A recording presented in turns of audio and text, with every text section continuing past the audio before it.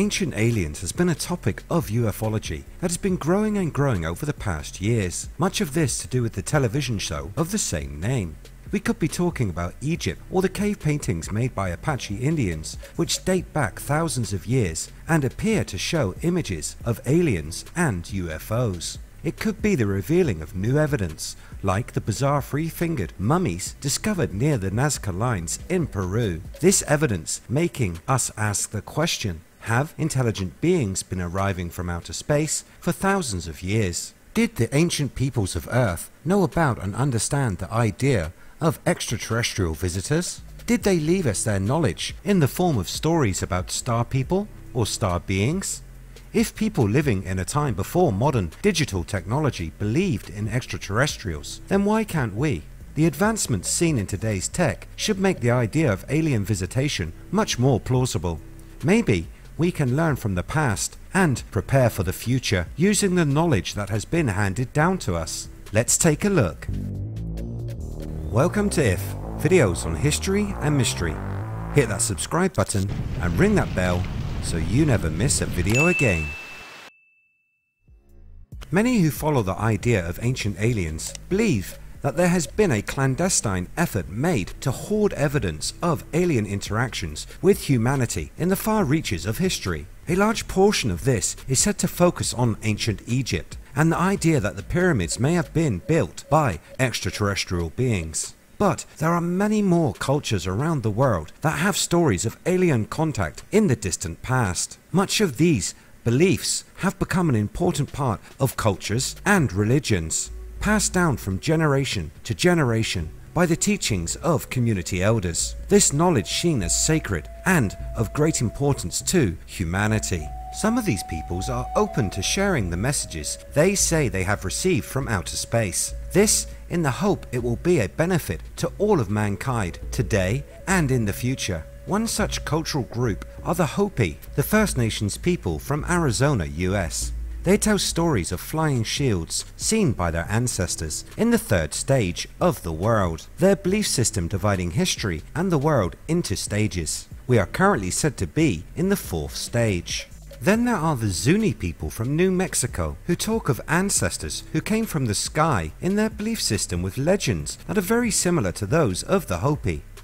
So who or what did the ancestors see?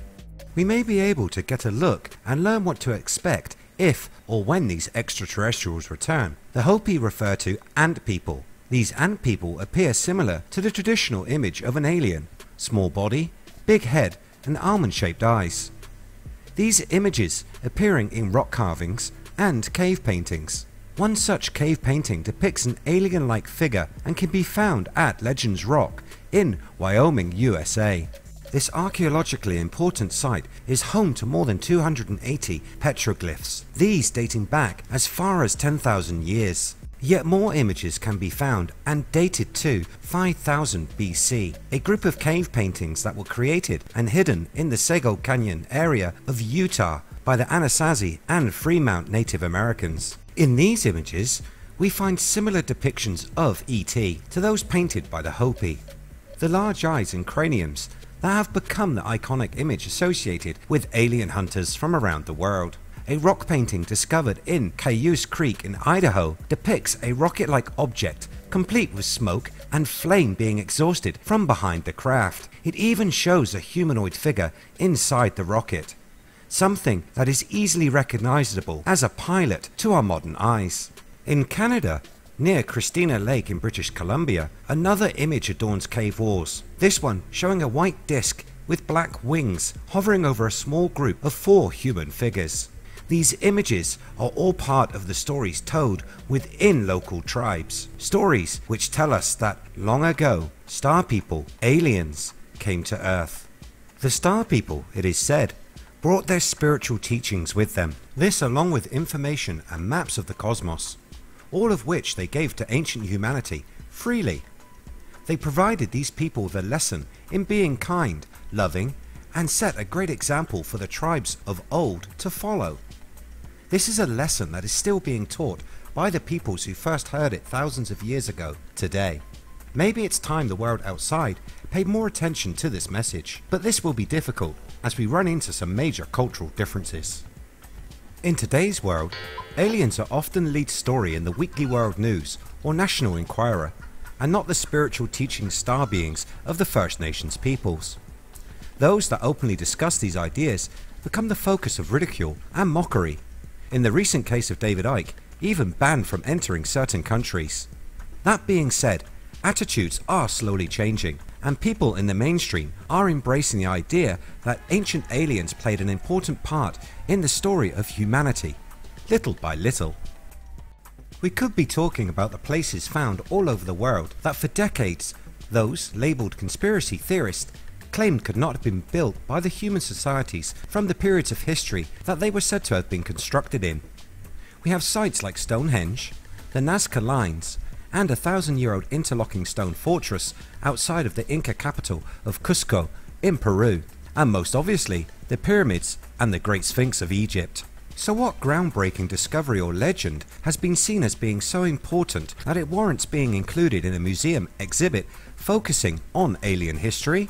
The Great Barrington Historical Society and Museum has formally inducted the UFO story of 6 year old Thomas Reed.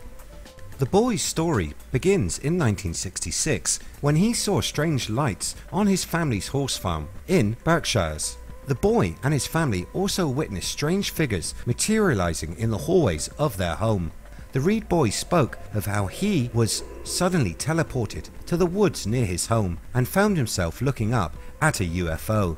Then he and his younger brother Matthew were taken inside the craft, at which point they are shown a projection of a willow tree.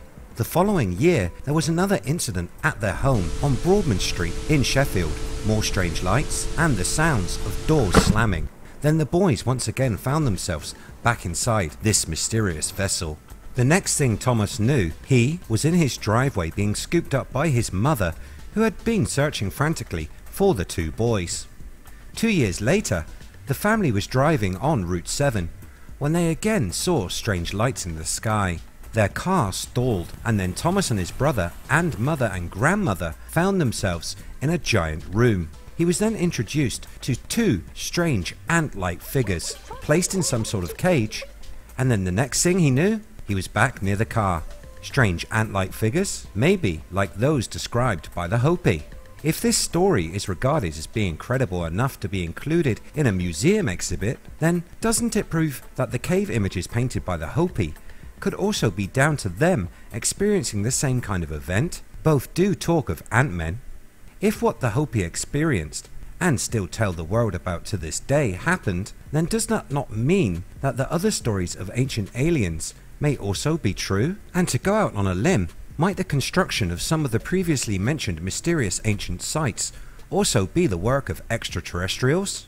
Could the chink in the armour of established history come from the small Massachusetts Museum of Great Barrington? Let me know your thoughts in the comments below. If you like what I do here on the channel, hit that red button and subscribe. You can catch the latest by searching We Are If.